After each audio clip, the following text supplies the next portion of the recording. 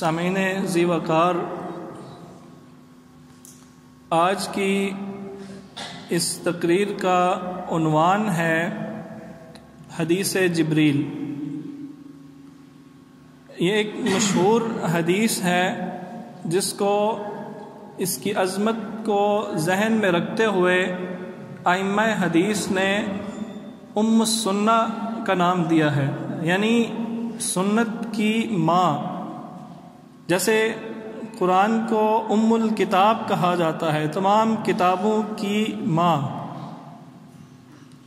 ماں سے مراد تمام کتابوں کی اصل، ام کا مطلب اصل بھی کیا جا سکتا ہے۔ یعنی سنت کی اصل جو ہے، اگر سنت کا خلاصہ سمجھنا ہو تو اس حدیث کو انسان سمجھ لے، تو ساری کی ساری سنت انسان کو سمجھ میں آ سکتی ہے۔ فلسفہ سنت جو ہے وہ انسان کو سمجھ میں آ سکتا ہے۔ یہ حدیث اگرچہ اپنی طوالت کے لحاظ سے، موضوعات کے لحاظ سے بہت طویل ہے، کوشش کریں گے کہ ان چند منٹوں میں پندرہ بیس منٹ کے اندر اس کا خلاصہ اور اس کا جوہر نکال کے آپ کو سمجھانے کی کوشش کی جائے۔ حدیث کچھ اس طرح سے ہے کہ حضرت عمر رضی اللہ تعالی عنہ روایت کرتے ہیں۔ اگرچہ اس کو بہت سے اور راویوں نے بھی روایت کیا ہے، لیکن ان میں سے ایک راوی حضرت عمر بن خطاب رضی اللہ تعالی عنہ ہیں۔ روایت کرتے ہیں کہ ہم ایک دفعہ مجلس میں رسول اللہ صلی اللہ علیہ وسلم کے ہاں بیٹھے ہوئے تھے کہ ایک شخص حاضر ہوا۔ ایک شخص آیا جس کے کپڑے انتہائی سفید تھے اور اس کے بالوں کی رنگت انتہائی سیاہ تھی۔ اس کے جسم پہ، اس کے کپڑوں پہ، اس کے بالوں پہ گرد کا نام و نشان نہ تھا۔ ایسے لگتا تھا کہ بس یہیں سے قریب سے اٹھ کے آیا ہے۔ وہ مسافر نہیں تھا۔ مسافر معلوم نہیں ہوتا تھا کیونکہ اس وقت، اس دور میں سفر اونٹوں پہ ہوتا تھا یا پیدل ہوتا تھا یا جانوروں پہ سفر ہوتا تھا اور گرد سے جو گرد کے آثار سے پتہ لگ جاتا تھا کہ انسان یہ آدمی کہیں سفر سے آ رہا ہے۔ تو حضرت عمر رضی اللہ تعالیٰ عنہ کہتے ہیں کہ وہ آدمی ایسا معلوم ہوتا تھا کہ سفر سے نہیں آیا، مسافر نہیں ہے، کوئی اجنبی نہیں ہے اور نہ ہی ہم میں سے کوئی اس کو پہچانتا تھا۔ کوئی لوکل بندہ بھی نہیں تھا۔ ہم میں سے کوئی شخص اسے پہچانتا بھی نہیں تھا اور نہ وہ مسافر تھا۔ ہم حیران تھے کہ یہ شخص ہے کون۔ دیکھتے ہی دیکھتے وہ شخص ہماری مجلس کو مجلس سے گزرتا ہوا آگے گیا۔ نبی صلی اللہ علیہ وسلم تشریف فرما تھے اور ان کے بالکل قریب جا کے دوزانو ہو کے بیٹھ گیا اور اپنے گھٹ اپنے گھٹنے دونوں گھٹنے نبی صلی اللہ علیہ وسلم کے گھٹنوں سے جوڑ لیے۔ اپنے گھٹنے ان کے گھٹنوں سے جوڑ کے بیٹھ گیا اور اپنے دونوں ہاتھ نبی صلی اللہ علیہ وسلم کے زانوں پہ رکھ لیے۔ اور سوال کیا کہ، اے اللہ کے رسول، مجھے بتائیے کہ اسلام کیا ہے؟ مل اسلام۔ اسلام کیا ہے؟ نبی صلی اللہ علیہ وسلم نے اس کو جواب دیا کہ اسلام یہ ہے، اس حدیث کو بڑے غور سے سنیے گا۔ ایک ایک لفظ اس کا سننے والا ہے۔ نبی صلی اللہ علیہ وسلم نے فرمایا، اسلام یہ ہے کہ تم اس بات کی شہادت دو، اس بات کی گواہی دو کہ اللہ کے سوا کوئی معبود نہیں اور میں محمد اللہ کا رسول ہوں، صلی اللہ علیہ وسلم۔ اور نماز قائم کرو اور زکوٰۃ ادا کرو اور رمضان کے روزے رکھو اور اگر استطاعت رکھتے ہو تو حج کرو۔ اس آدمی نے فرمایا، اس آدمی نے کہا صدقتا آپ نے سچ کہا۔ حضرت عمر کہتے ہیں کہ ہم حیران ہوئے، ایک تو سوال بھی کرتا ہے، اوپر سے کہتا ہے، آپ ٹھیک کہہ رہے ہیں۔ جیسے کوئی معلم، کوئی استاد کسی بچے سے سوال پوچھے کہ یہ بتاؤ، یہ اس یہ کیا ہے؟ تو وہ اگر صحیح جواب دے دے تو استاد کہتا ہے ہاں تم ٹھیک کہہ رہے ہو۔ اس کا مطلب یہ ہے کہ اس آدمی کو پہلے سے معلوم تھا کہ اسلام کیا ہے، اور پھر بھی اس نے پوچھا نبی صلی اللہ علیہ وسلم سے۔ تو ہم حضرت عمر کہتے ہیں کہ ہم حیران ہوئے اس بات پہ کہ یہ شخص کون ہے۔ اس آدمی نے دوسرا سوال کیا کہ ایمان کیا ہے؟ مل ایمان۔ اخبرنی عن الایمان۔ تو نبی صلی اللہ نبی صلی اللہ علیہ وسلم نے فرمایا کہ ایمان یہ ہے کہ تم اللہ پر ایمان لاؤ، اللہ کے ہونے پر ایمان لاؤ اور فرشتوں پہ ایمان لاؤ اور کتابوں پہ ایمان لاؤ اور رسولوں پہ ایمان لاؤ اور قیامت کے دن پہ اور اچھی اور بری تقدیر پہ ایمان لاؤ۔ اس آدمی نے پھر کہا صدق تھا آپ نے سچ فرمایا۔ لوگ بڑے حیران تھے کہ یہ ہو یہ ماجرا کیا ہے؟ یہ کیا ہو رہا ہے؟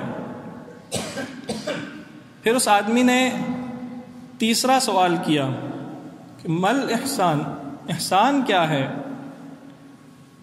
نبی صلی اللہ علیہ وسلم نے فرمایا کہ انتعبد اللہ کا ان کا تراہ اللہ کی عبادت ایسے کرو جیسے گویا کہ تم اللہ کو اپنے سامنے دیکھ رہے ہو۔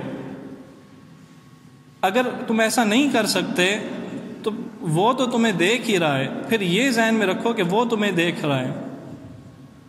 یہ احسان ہے۔ اس آدمی نے کہا، صدق تھا، آپ نے سچ فرمایا۔ اس آدمی نے چوتھا سوال کیا کہ قیامت کب آئے گی؟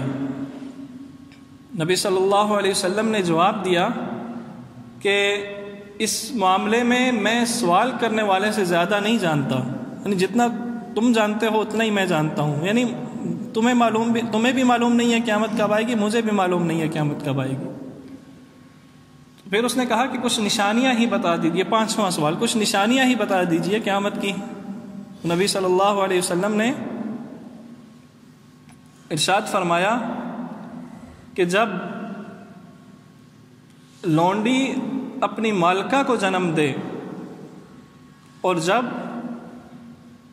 ننگے پیر اور ننگے بدن اور انتہائی تنگ دست چرواہے اونچی اونچی عمارتیں بنانے لگیں، عمارتوں میں ایک دوسرے سے سبقت لے جانے لگیں، تو سمجھو کہ قیامت قریب ہے۔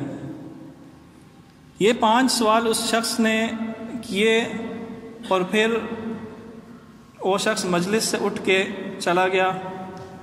کچھ دیر بعد نبی صلی اللہ علیہ وسلم نے صحابہ سے کہا کہ ذرا اس شخص کو بلاؤ، اس شخص کو ڈھونڈ کے لاؤ، اس کو کہو واپس آئے۔ کچھ صحابہ گئے، پورا مدینہ چھان مارا، وہ شخص نہیں ملا۔ جب جب نبی صلی اللہ علیہ وسلم کو اس بات کا علم ہوا تو انہوں نے فرمایا کہ یہ جبریل تھے جو تمہیں تمہارا دین سکھانے آئے تھے۔ یعنی جبریل علیہ السلام ایک آدمی کی صورت میں آئے، کس لیے آئے کہ لوگوں کو ان کا دین سکھایا جائے؟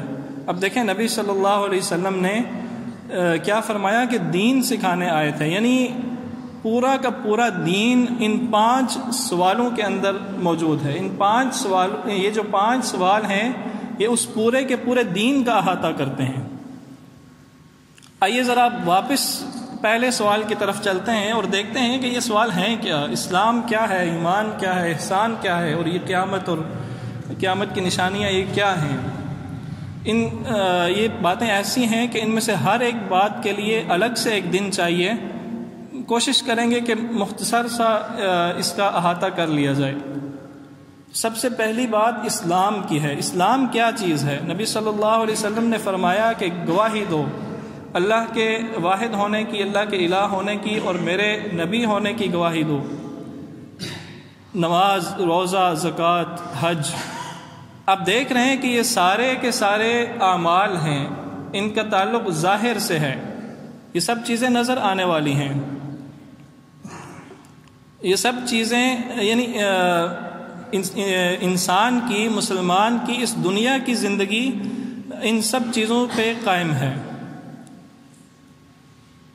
اسلام نے جو معاشی نظام دیا ہے، اسلام نے جو معاشرتی نظام دیا ہے اور سیاسی نظام دیا ہے اور اس دنیا کا نظام چلانے کے لیے اسلام نے جو شریعت دی ہے، وہ سب کی سب ظاہری اصولوں پہ قائم ہے۔ ایک آدمی نماز پڑھتا ہے تو ہمیں، تو ہم نماز پڑھتا ہے اسلام اللہ کی اور اللہ کے رسول کی گواہی دیتا ہے۔ زکوٰۃ دیتا ہے، روزے رکھتا ہے، حج کرتا ہے، ہم کہیں گے کہ وہ مسلمان ہے۔ ایسا ہی ہے نا؟ تو یہ ہوا اسلام۔ ایمان کیا چیز ہے؟ ایمان باطنی چیز ہے۔ ایمان ظاہر نہیں ہوتا، ایمان چھپا ہوتا ہے۔ ہم کسی آدمی کے اندر یہ دیکھ نہیں سکتے کہ اس کے اندر ایمان موجود ہے یا نہیں ہے۔ اللہ پہ ایمان کو ایمان لاتا ہے یا نہیں لاتا؟ کوئی آدمی رسولوں پہ، فرشتوں پہ، کتابوں پہ اور قیامت پہ ایمان لاتا ہے یا نہیں لاتا، ہمارے علم میں نہیں ہے۔ اسی لیے اس دنیا کے نظام کی بنیاد ایمان پہ نہیں رکھی گئی، اسلام پہ رکھی گئی ہے۔ ایمان اور اسلام میں فرق کیا ہے؟ کچھ چیزیں تو آپ کے سامنے واضح ہو گئیں کہ اسلام عملی صورت ہے اور ایمان عقائد ہیں۔ ایمان باطنی صورت ہے۔ ایمان دل کے ماننے کو کہتے ہیں۔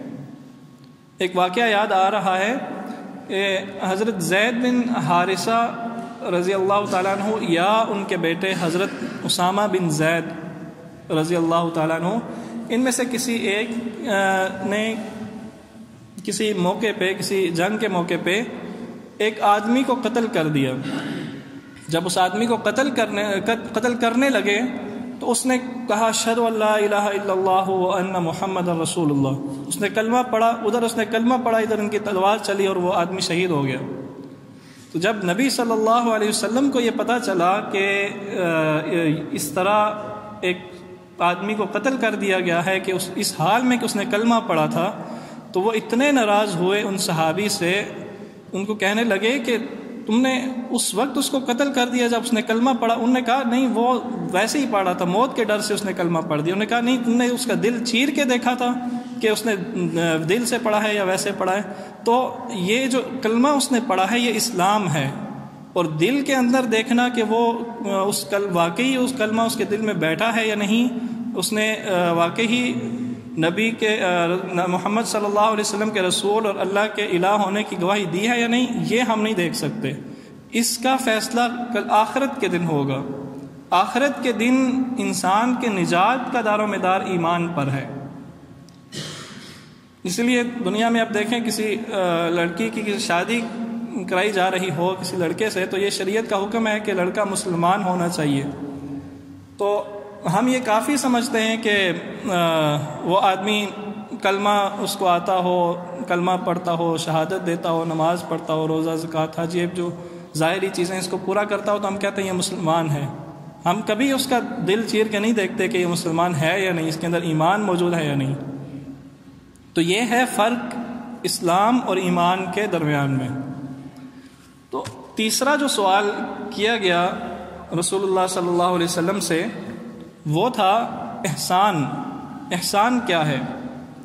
تو یہ وہ احسان نہیں ہے جو ہم اردو میں استعمال کرتے ہیں۔ یعنی کسی آدمی پہ کوئی، کسی آدمی کے ساتھ کوئی نیکی کر دے تو ہم کہتے ہیں کہ اس کے ساتھ بڑا احسان کیا گیا۔ یہ وہ احسان نہیں ہے۔ احسان کا مطلب ہے اچھائی۔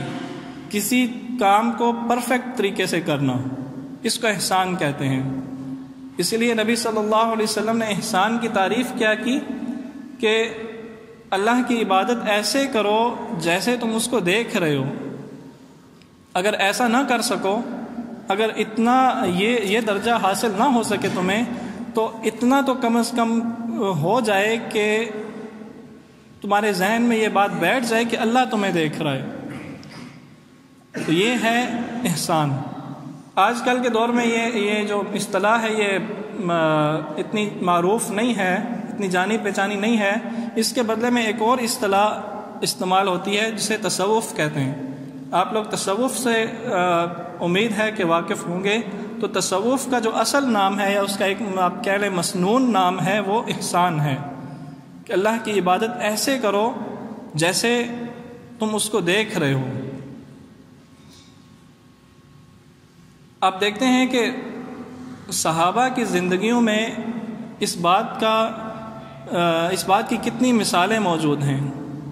آپ نماز کو ہی لے لیجیے کہ جب وہ نماز پڑھتے تھے تو دنیا سے غافل ہو جاتے تھے۔ دنیا کا ہوش نہیں رہتا تھا کہ کیا ہو رہا ہے۔ یہ احسان ہی تھا جس نے صحابہ کی نمازوں کو ایسا بنا دیا کہ تیر جسم سے پار ہو جاتے تھے، پتہ نہیں چلتا تھا۔ ان کو محسوس ہی نہیں ہوتا تھا کہ کیا ہوا۔ نماز میں کھڑے ہیں اور ادھر سے جسم کا حصہ کاٹ دیا جاتا تھا۔ ان کو ٹس سے مس نہیں ہوتی تھی۔ کیا تھا کہ ان کو یہ یہ ان کے ذہنوں میں بات بیٹھی ہوئی تھی کہ ہم اللہ کے حضور کھڑے ہیں، ہم اللہ کے دربار میں کھڑے ہیں۔ ہم اپنے مالک، اپنے آقا کے سامنے، اپنے خالق کے سامنے حاضر ہیں۔ تو ان کو دنیا سے دنیا سے اس کا رشتہ کٹ جاتا تھا۔ اور ہماری نمازوں کی کیا حالت ہے؟ اس پوری مسجد کے اندر اگر ایک موبائل بولنا شروع کر دے تو ہماری نمازیں خراب ہو جاتی ہیں۔ کئی کوس دور سے اگر کسی گاڑی کی آواز آ جائے، ایمبولینس کے سائرن کی آواز آ جائے تو ہماری نمازیں خراب ہو جاتی ہیں۔ ہماری نمازوں کی یہ حالت ہے۔ اور یہ صرف عبادات میں یہ جو اللہ کے نبی صلی اللہ علیہ وسلم نے فرمایا نا کہ عبادت ایسے کرو جیسے تم اللہ کو دیکھ رہے ہو، تو عبادت کا مطلب صرف یہ نماز، روزہ، زکوٰۃ، حج نہیں ہے۔ بلکہ ایک دوسرے، ایک، اسی حدیث کے ایک دوسری روایت میں یہ الفاظ آئے ہیں کہ عمل کرو ایسے، اللہ کے لیے ایسے عمل کرو جیسے تم اللہ کو دیکھ رہے ہو۔ تو عبادت کا مطلب کیا ہوتا ہے؟ عبادت کا مطلب بندگی ہے، عبادت کا مطلب غلامی ہے۔ اللہ کی غلامی ایسے کرو کہ جیسے تمہارے ذہن میں یہ بات ہو کہ آقا ہمارے سر پہ کھڑا ہے۔ جیسے کوئی مزدور مزدور جب مزدوری کرتا ہے اس حال میں کہ اس کا جو مالک ہے یا جو مزدوری کرانے والا ہے، جو آدمی وہ سر پہ کھڑا ہو تو جیسے مزدور مزدوری کرتا ہے، بالکل ویسے تم زندگی گزارو۔ نہ صرف مسجد میں، نہ صرف نماز کے دوران، بلکہ اپنی ساری زندگی۔ سو کے اٹھنے سے لے کے سو، دوبارہ سونے تک کی ساری زندگی ایسے گزارو جیسے ہمارا مالک، جیسے ہمارا آقا، جیسے ہمارا پروردگار ہمیں دیکھ رہا ہے۔ یا وہ ہمارے ساتھ ہے، جو، یا وہ ہمارے سر پہ موجود ہے۔ اس بات کا نام احسان ہے۔ یعنی دین کیا ہوا؟ دین ہوا اسلام اور ایمان کا مجموعہ، ان دو چیزوں کے مجموعے کا نام دین ہوا۔ اور اس دین میں پختگی پیدا کرنا اور اس دین میں کو اس درجے تک پہنچانے کے لیے مجاہدہ کرنا کہ اللہ ہمارے ساتھ ہے، اللہ ہر وقت ہمیں دیکھ رہے ہیں، تو اس کو اس کا نام ہے احسان۔ دین کو پختہ کرنے کا نام ہے احسان۔